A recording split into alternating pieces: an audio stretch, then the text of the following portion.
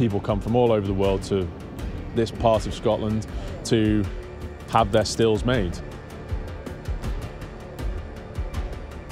On site, they've got stills ready to go to Mexico, Taiwan, Scandinavia, Scotland itself. We are coppersmiths. Copper is actually an integral part of the process of making whisky. We take flat plate and work it into these beautiful shapes. They've spent the last year putting our stills together. The stills themselves have up to 1,500 man hours each.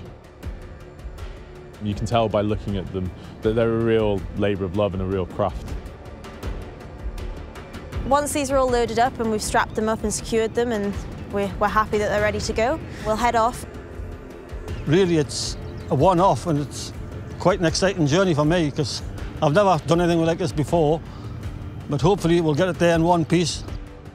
It is a, a special load, a very precious cargo, um, so we're hoping that we can deliver it safely and, uh, and get it down the road, which I'm sure we can.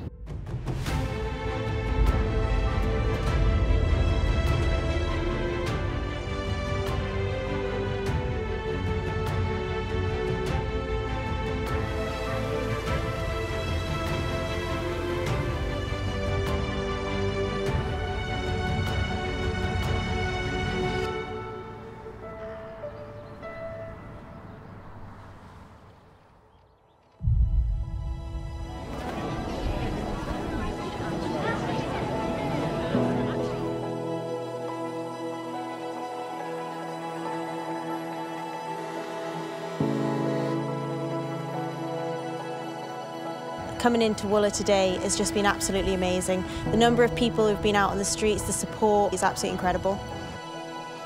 When you saw the two Artics driving through the high street with all the people waving, and I have Jake, who's worked with us for 50 years, and Naomi, our daughter, driving the other truck, it was very emotional. And to see those stills coming down, the gleaming copper and the lovely sunlight that we've, we've got today. It's the heart and soul being put into this project. To stand on the high street in Wooler and see so many people out there on the street has been absolutely incredible. It was like a carnival and I just can't say how very proud I am.